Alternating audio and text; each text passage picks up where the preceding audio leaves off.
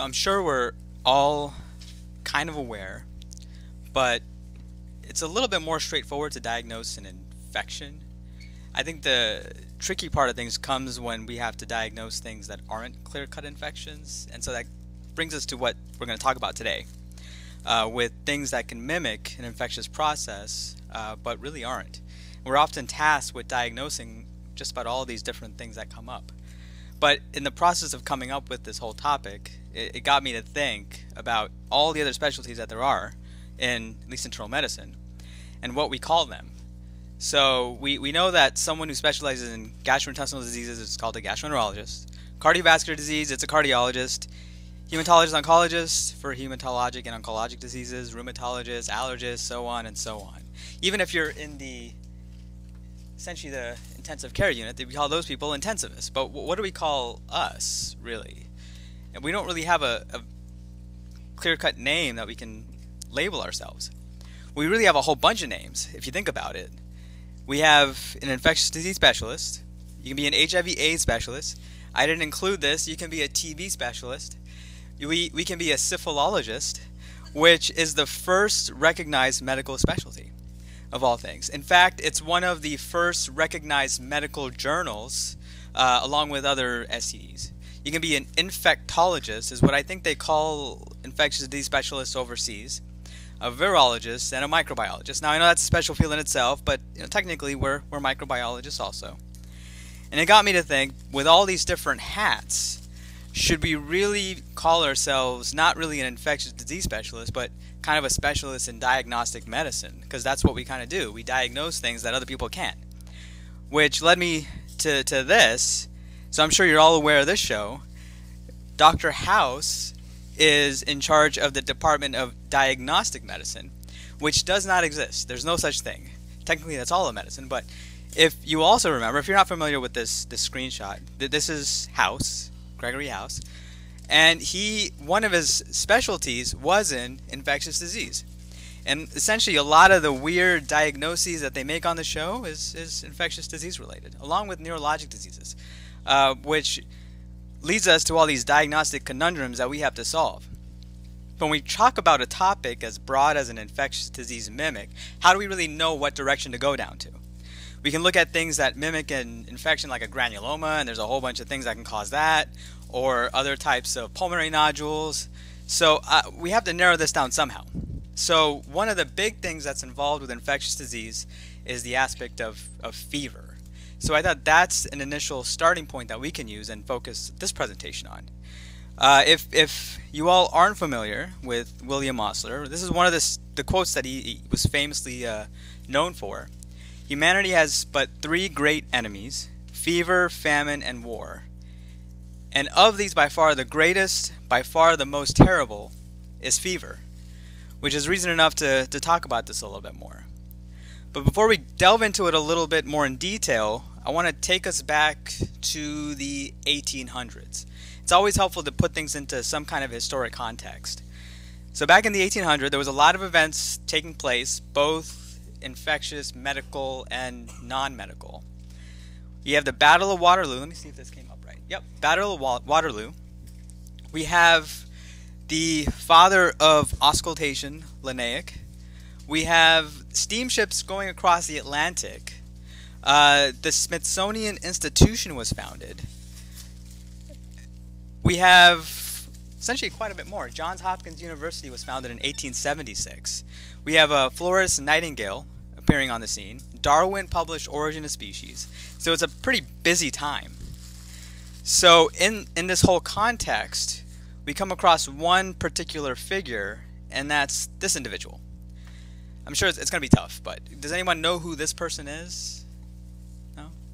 This is Karl Reinhold August Wunderlich. It's either Wunderlich, Wunderlich. So pardon me if I'm saying that incorrectly. He is credited as being the father of clinical thermometry.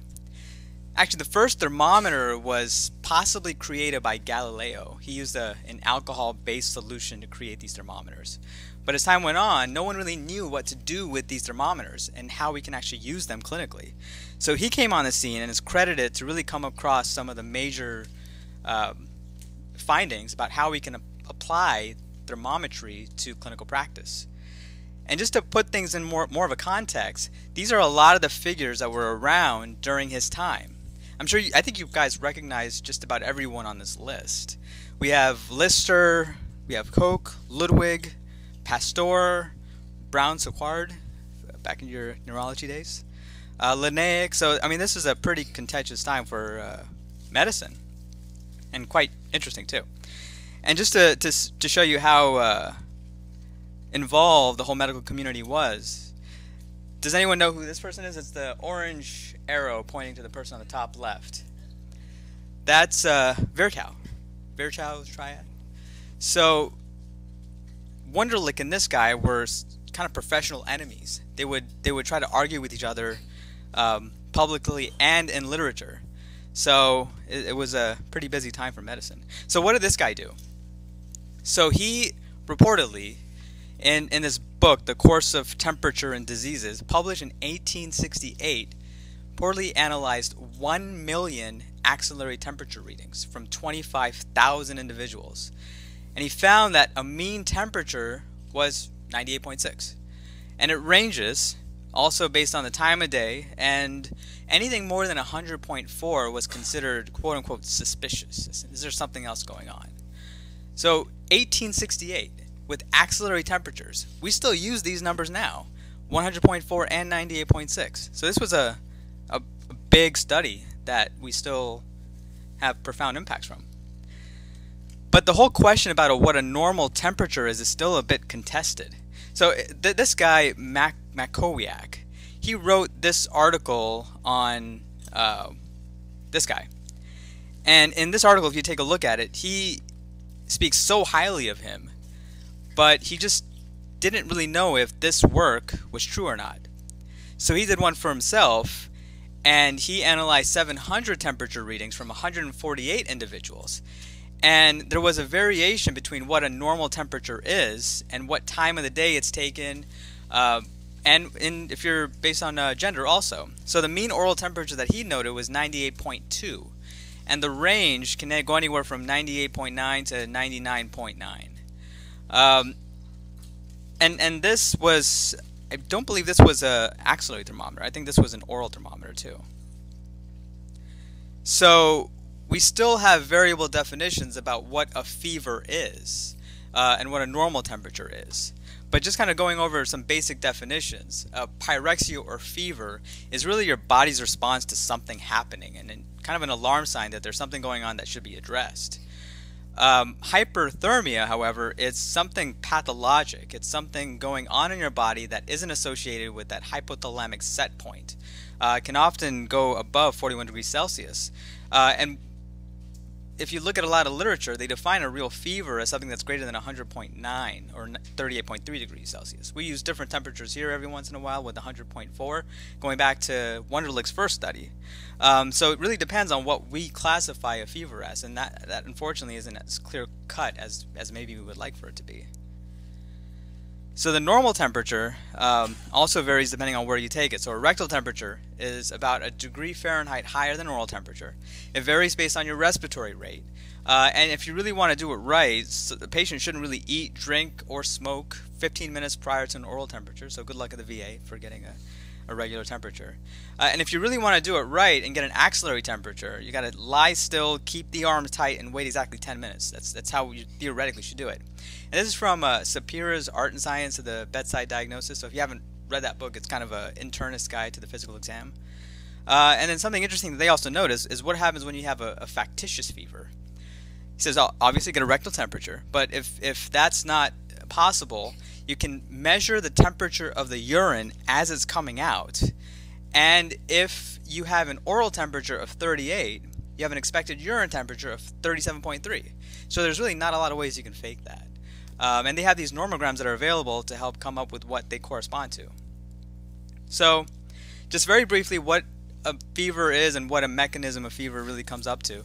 So, you have thermoreceptors located everywhere in your body. Uh, you also have thermosensors in the anterior hypothalamus, the preoptic nucleus of the hypothalamus, uh, along with the cervical spine. And then this regulatory center, uh, which is in the preoptic area of the hypothalamus, creates your set point. the thermoregulatory system maintains that set point. So everywhere else in the body maintains that temperature that is set by the hypothalamus. So when you get a fever, you have these exogenous pyrogens, such as bacteria, that come into your body, activate the immune system, which secretes a lot of these endogenous pyrogens. So these pyrogens then stimulate prostaglandins, which go all the way up to the hypothalamus and helps uh, essentially modify that set point. And the whole purpose of doing that is by increasing your temperature, you have a kickstart to your immune system, creating a lot of these auto, uh, these antibody formations, these uh, adaptive immune responses to really help fight this infection. This is kind of an illustration as to how this would look like, uh, but we're not going to go into it too much, but if you want to take a look at it, it's here. So you have this exogenous pyrogen that secretes a lot of these uh, um, substances, creating a cytokine response, then prostaglandins, and then you go all the way up to the hypothalamus to uh, um, essentially change that set point. So that's kind of the background. Now we'll actually go into the, the real core part of all this, which is what can come up as a fever, as looking like an infection, but not really an infection. So the first of this large family of mimickers is a neoplastic fever. So we see it often. We'll see it Moffitt all the time. We'll see it at Tampa General all the time, even Moffitt, uh, uh, or the VA, I mean. So a neoplastic fever, it's a fever caused by nothing else but the underlying cancer. So you can't blame it on anything. Unfortunately, with a lot of these mimickers, you have to exclude the presence of an actual infection before you can say something else is, is a mimic. Um, so that becomes the difficult part. So you want to think you can make the diagnosis early, save all this antibiotics, save a lot of money by these diagnostic methods, but unfortunately you just can't. So it is really time intensive sometimes. So the difference between an infectious fever and a neoplastic fever is that there's more feeling of wellness essentially with the neoplastic fever. There's not as many chills, sweating, warmth, uh, and, and you don't really have any hemodynamic compromise.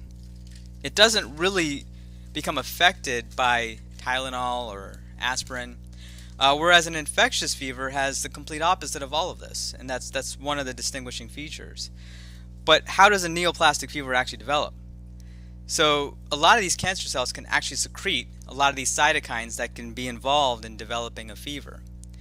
And these cytokines can go directly to the preoptic nucleus of the hypothalamus. Uh, renal cell carcinomas have a lot of IL-6 which can be involved with fever generation. Lymphomas uh, can also secrete a lot of IL-6 and that may be one of the reasons why we get a lot of these B symptoms that we are often asked about. Uh, tumor necrosis factors can come up from dead tissue, and a lot of this may involve the cyc cyclooxygenase, which can um, mediate the prostaglandin E2 synthesis pathway to develop these fevers. So you may or may not see any change with inflammatory markers. However, in an infectious fever, you do see a downward trend when you have some kind of response. This is a diagnostic criteria for a neoplastic fever, so this actually does exist if you take a look at the literature. So it's a temperature of 100.04 at least daily and over two weeks. And there's an exclusion of any other infectious cause. There's no allergic mechanisms involved, and it doesn't respond to adequate antibiotic therapy for at least seven days. And interestingly enough, still a part of the neoplastic fever criteria is whether there's a response to naproxen. And this brings up the whole question, and something that we all should probably know about is the naproxen test for diagnosing neoplastic fever. So there's a lot of question of whether this actually works or not work. Um, and there's some prominent actually studies that's still cited now that goes over this. So these people, Chang and Gross, came up with the, the first well-recognized studies of the utility of the naproxen test in diagnosing neoplastic fever. So this is the first one. We'll go over this quickly. So uh, not to fear with going over a lot of these different articles. So in this first study, they found 22 patients who couldn't really have a determined source of fever. And this was a criteria, at least one temperature of 101, point, uh, 101 degrees Fahrenheit, and a fever over one week, and no other source of infection. So of these 22 patients, 15 were on antibiotics, and they didn't have any response to therapy. These people were started on naproxen. You had seven of these 22 that had a very strong suspicion for a neoplastic fever. So they weren't even on any antibiotics, they went straight to naproxen. So they were given a dose, 250 Q12, and they were still evaluated to make sure nothing else kind of brews up in terms of infection. And if they responded um, within three days of the naproxen test, so they had a complete response, then therapy was extended to another seven days. So a complete lysis is when the temperature uh, improved to less than 99 degrees Fahrenheit within 24 hours uh, and sustained for more than five days. And a partial response was something a little bit short of that. So of these people, the 15 that were on antibiotics and naproxen, 9 of the 15 had a complete response to naproxen. 2 had a partial response. And of those two, one had a mixed connective tissue disease and one had lupus. So I mean, could that be involved? Possibly. And then Four of the 15, two had a perirectal abscess, one had an infected Hickman catheter, one had an ovarian cancer with a massive tumor necrosis. So, I mean, it, it kind of points toward this being possible. Of the seven that were just on naproxen alone, five had a complete lysis, and two had uh, really no response, and there was another reason why they still had these fevers. So that's kind of one. So just to make it a little bit more towards the point, they did another study, uh, still at the same hospital, and they defined a temperature of at least 101, fever of one week, and no other evidence for infection. Found 21 patients, 12 initially on antibiotics, um, and then they were started on naproxen, and then nine that were really not on any antibiotics. They had a strong suspicion from the get-go, and so they were also started on naproxen. So of these, they put them on a dose of 250 Q12, treated for about three days, and if they had a complete response, then they were defined as having a lysis of fever to less than 99 degrees Fahrenheit. If they had a partial response, then they have an increase in their dose uh, to a maximum of, I think, 1,500 milligrams per day were used. So of these 21, 16 had a complete response. Uh, one of these had one recurrent temperature. Uh, and they noticed that of, of those people that actually had a response, the day that they were given these naproxens, they ended up having this strong, like, sweating diaphoretic response. Five of the 21 uh, did not have a complete response. One of these had a laparotomy, and this female had abdominal leiomyomatosis, uh, did not respond to higher doses of naproxen, and she had a laparotomy without any infection source. And then four of the remaining five had responses to higher doses of naproxen. So, of these, just to kind of prove the point a little bit more, 10 patients, naproxen was discontinued. Their fever returned uh, usually within 24 hours. So, it kind of points towards this actually being possible, and you can actually diagnose this based on the naproxen test. But to play the devil's advocate, there was this guy who didn't really see a big of a um, large evidence enough towards doing this uh, in clinical practice. So he had a larger patient population in general, but only 11 of these people had a neoplasm. And of these 11, six had a positive naproxen test uh, with a 55% rate uh, and 33% uh, actually,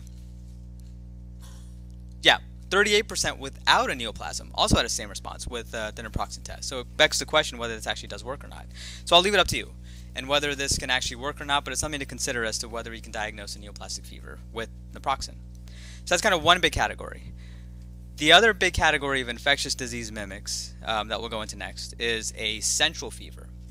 So we'll see this often with a lot of uh, patients over at the neuroscience department over at Tampa General or even at the, the VA hospital for that matter. Um, so just to rehash this point because it tends to be uh, easily in one ear and out the other, you have thermoreceptors on the just about everywhere in the body, uh, as well as the anterior hypothalamus along with the cervical spine, and then the center establishes a set point, uh, and then everything else maintains that set point. And then when any of this is compromised, you develop central fevers. So it has a lot of consequences. You get a lot of metabolic byproducts. You get increased oxygen consumption, acidosis, nitric oxide production, uh, a lot of glutamic acid production. Uh, you can get increased intracranial pressure from a lot of different mechanisms. Um, and unfortunately, there's no solid diagnostic criteria for central fever, but it does have uh, major characteristics. So this was published in 2017. They just went over some basic overview of what a central fever is. So anything that involves an injury to the center of thermoregulation, uh, excluding all the other causes, and it can happen within uh, about three days following a big CNS injury. uh, you usually see higher than normal temperature, so higher than that associated with an infection. Uh, and also really no response to antipyretic therapy, and it can last for quite a bit of time. So if you get a direct trauma to the hypothalamus, uh, motor vehicle accidents, a lot of uh, traumatic brain injuries, you can see the same phenomenon of central fevers. Uh, and it's felt as if the trauma itself can release a lot of inflammatory markers that they don't really have to travel that far. They can go straight to the thermoregulatory center to cause these fevers to develop. They often happen with subarachnoid hemorrhages and can happen within even about three days after the hemorrhage itself. And if you have an intraventricular hemorrhage, it's a huge risk factor for developing central fevers. Uh, there's a lot of heme decomposition, especially in the intraventricular region, uh, with a lot of carbon monoxide production, and they go straight to, to work at the thermoregulatory center. You can see the same phenomenon with uh, acute ischemic strokes, which often are associated with central fevers too. And when you do see them with an acute ischemic stroke, uh, it tends to mark a, a poorer prognosis in general. Uh, also with hemorrhagic strokes, and a lot of uh, um, the severity of the central fever tends to be uh, proportional to whether there's an intraventricular hemorrhage and the degree of the hemorrhage seen uh, with any of this. So that's kind of one big phenomenon. But associated with this big neurologic family is a neurogenic fever. So a quadriplegic fever, which often is a term you'll see in the literature, is it's a prolonged period of hyperthermia which can last up to several months following an acute traumatic injury to the, the spinal cord. So we know where the center of thermoregulation is, at least hopefully by now. Uh, and then when, when you have a rising core temperature, you get these efferent fibers within the autonomic nervous system that can cause a response with cutaneous vasodilation. And the whole process of sweating is supposed to help regulate your um, body temperature. Uh, when you have uh, some kind of exogenous pyrogens being involved in your whole mechanism, then you can see an increase with your hypothalamic temperature set point. So, in general, you have these skin thermoreceptors that send up signals through the spinal cord to the hypothalamus. So as you can imagine, when you have any kind of compromise to the spinal cord, that whole mechanism doesn't work anymore. And so it leads to a lot of dysregulation with uh, uh, the body's temperature. When you have an acute injury to the spinal cord, and you see a lot of blood products spilling into the spinal cord itself, that can potentially release a lot of free radicals. Glutamic acid can excite a lot of neurons, and all of this can also develop with uh, uh neurogenic fevers. Interestingly enough, a lot of the consequences of the spina- uh, spinal cord injury happen when there's a interruption at the level between T4 and T6, because that's where your major splanchnic sympathetic outflow is. Uh, and that can result in a lot of this autonomic dysregulation. So a complete lesion above the sympathetic outflow can lead to a lot more problems with regulating your body temperature. Um, there, there's some debate as to whether you have to have a cervical or thoracic cervical spine, uh, um, thoracic or cervical spinal cord lesion um, to cause a bigger incidence of neurogenic fever. But in general, if you have anywhere in the thorax, uh, the thoracic spine or the cervical spine, it can also have equal likelihood of causing neurogenic fever. Uh, more so in general than a lumbar spinal cord. So I'm not sure we're able to do a study like this anymore. Uh, but there's this guy Pollock uh, did this kind of uh, this study back in the 1950s where he had a bunch of patients with a spinal cord injury. He submerged them into a water bath of 102.5 degrees Fahrenheit, which is pretty hot, and he kept them there for 40 to 45 minutes. He did the same thing to a control group who had no spinal cord injury, same temperature, same amount of time, and the people with the SCI injuries had a core temperature rise of 3.6 degrees Fahrenheit, but the control group only had a temperature increase of 1.6 degrees Fahrenheit. So there is some kind of distinction between the two.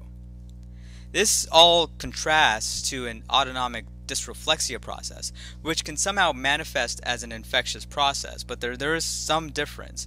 Um, also happens with a lesion above T6, uh, but you can get a lot more diverse uh, clinical signs and symptoms. And it usually happens when there's some kind of underlying process in place. There's constipation, bowel impaction, some other underlying infections, pressure ulcers, bladder distension, all that can happen with an autonomic dysreflexia.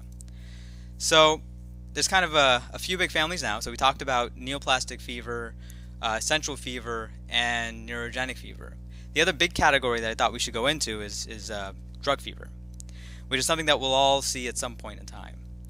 So same kind of uh, scenario. It really has to have an exclusion of everything else that can potentially cause an infection before we can say that it's related to a drug.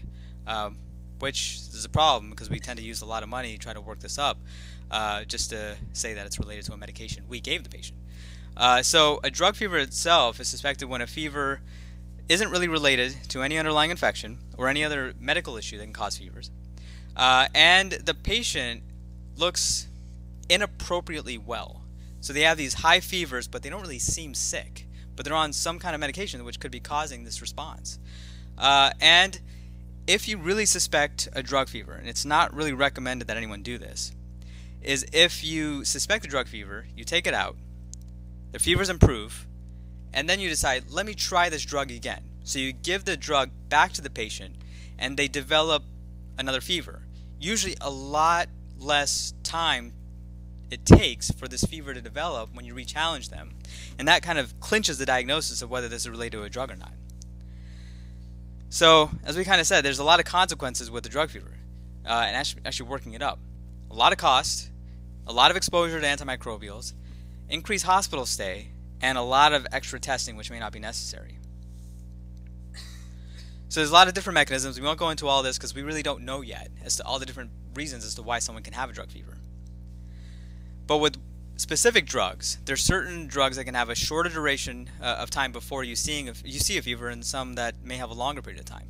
Um, antimicrobials uh, usually takes about medium of six days, average of 7.8, and anti-neoplastic drugs even shorter. Uh, however, there's a lot of other drugs that can take a lot longer to develop fevers. Uh, a lot of cardiovascular drugs can take uh, up to 44 days, uh, and central nervous system drugs can take about 18 days. So a drug fever, there's a different pattern of fevers that you can see with them. So of these, the one that you really have to pay attention to is a hectic fever because that's the one that's most often seen. So it's a combination of intermittent and remitting fevers, really. Uh, and uh, maybe as a result of us using a lot of antipyretics, cooling blankets, uh, things as such. But when you do have these fevers, they tend to be huge, um, going up to 104, up to 106, uh, and, and that could be a very distinguishing feature for a drug fever. And like we said, these patients look inappropriately well. Uh, they they have these high fevers, but they seem like they're just going about their day. Uh, they often don't know they're having fevers, and they may or may not have an associated hypersensitivity reaction. Uh, they could have a, a, relative bradycardia, like the Faget sign that we all know of. Uh, there may or may not be any lab problems at all, but you could have them. So it tends to go 50-50, probably around that number. And there's no link between having drug allergies or atopic disease and the development of drug fever that's very definitive. So we can't even use that as a probability measure. So, kind of going into these these uh, um, the aspect of relative bradycardia, I thought this was interesting. How do we really calculate a relative bradycardia? We talk about it so much, but how do we really do it properly? So there's actually some work out there that helps us do that. In order to really calculate a relative bradycardia, you got to be an adult over 13 years of age. Well, not really an adult uh, a temperature of at least 100, 102, and you got to do it while uh, you measure your pulse while you actually check your temperature. You can't have any second, third degree heart block or pacemaker, uh, and you can't be on any medicine that can alter your heart rate.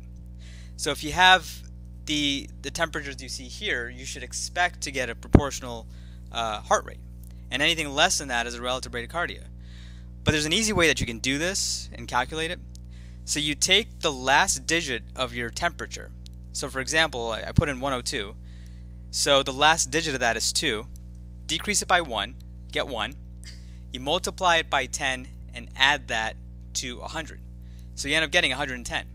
So that's your proportional heart rate to that temperature, and anything less than that is a relative bradycardia. So you can kind of use that. It, it's a it's a rough gauge as to whether someone actually has it or not. So thought it was interesting. You can do with that what you want but we'll go back to drug fever. So there's a lot of drugs out there that potentially have this phenomenon. Unfortunately, in, in this field, a lot of these are antimicrobials of some kind. In fact, uh, probably a good quarter of it is up there. Uh, this is the most common phenomenon associated with hyper or, or drug fever, which is hypersensitivity. Uh, most common cause of fevers with drugs And it's felt as though there's some kind of product with the drug that can serve as a hapten, which binds to larger proteins, become antigenic, uh, and then they can respond with the host immune system to cause fevers. Uh, and that may be the whole phenomenon that you see with hypersensitivity. Uh, you could have some cell mediated mechanisms, and um, unfortunately, this could occur days after you even start the medication. But again, re-challenging the patient. So let's say they had a drug fever five, ten years ago, and you feel as if it may be the drug, everything else was excluded, and let's say five years later, you want to test this. You give them the same drug again, you should see a fever develop within essentially hours of giving the drug, and the fever can be pretty significant. The other mechanism behind the drug fever, is you can get altered thermoregulatory mechanism. Uh, we can see this often with thyroid medications.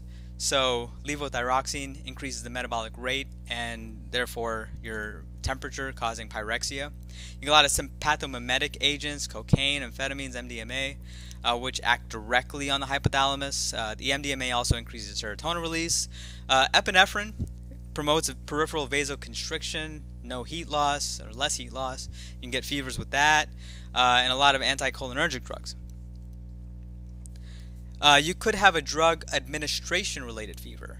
So we can see this often with amphotericin B. Uh, there's a lot of pyrogenic activity uh, as you deliver the amphotericin B, causes release of a lot of endogenous pyrogens, which can cause fevers. Uh, and there could be a lot of phlebitis associated uh, with these drug fevers from irritating solutions.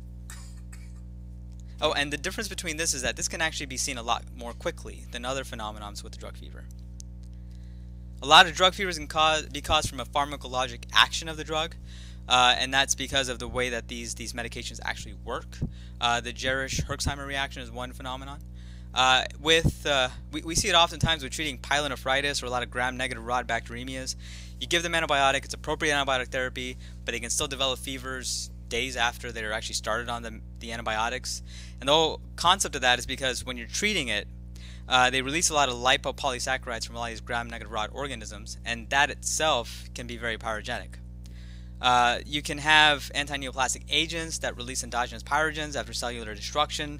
Uh, we see a lot of times with tumor, uh, uh essentially necrosis, causing people uh, to have fevers. And anticoagulants, if there's any issue with bleeding, that can cause fevers too.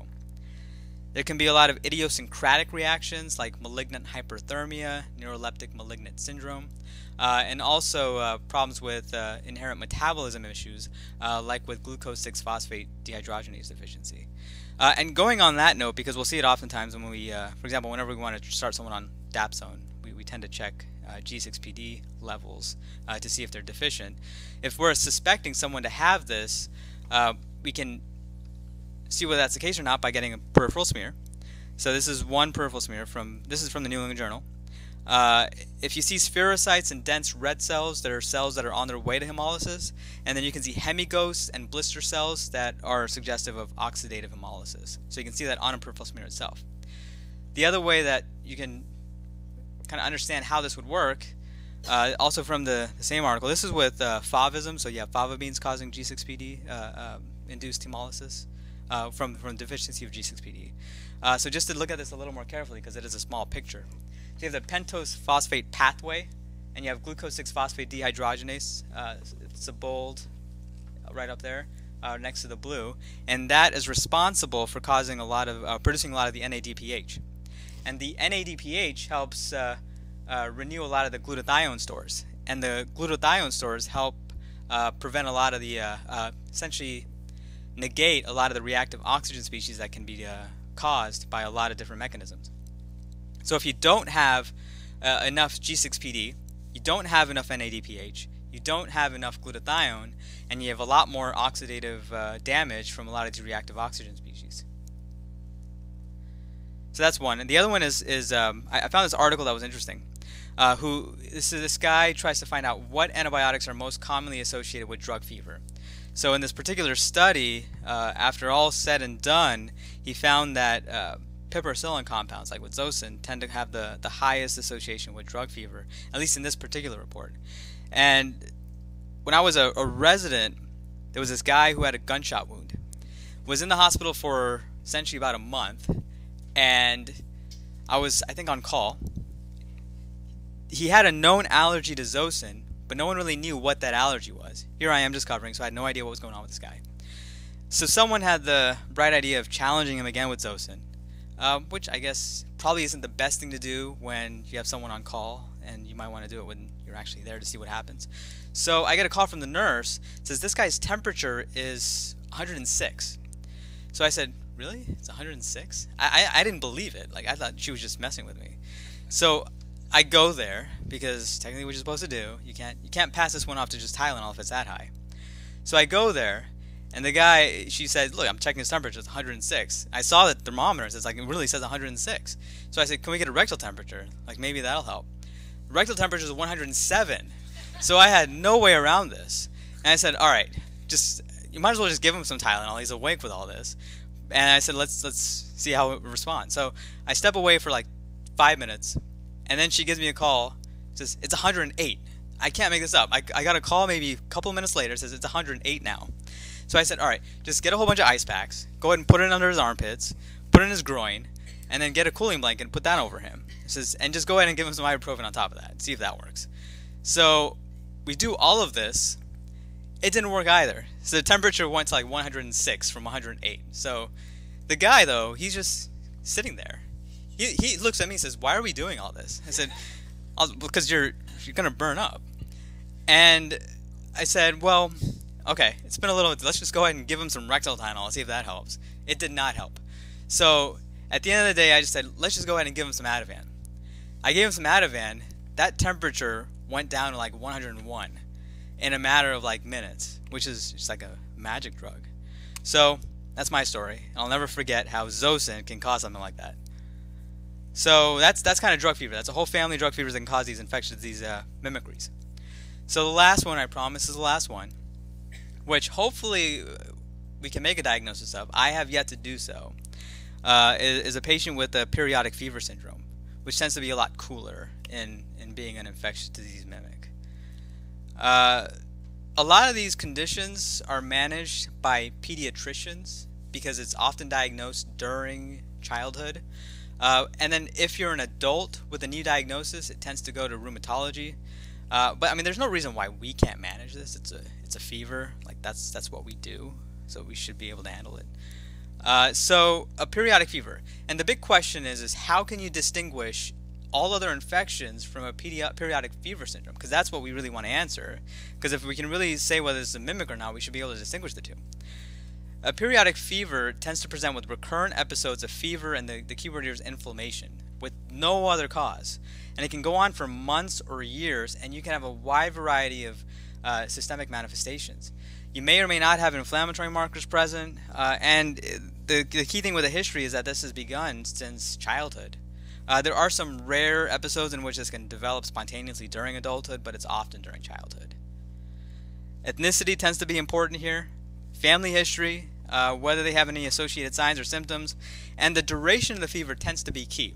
So if they tell you that the fever is constant for hours, or if it's constant for days, that tends to help you find out is this a periodic fever, and then what kind of periodic fever syndrome it is.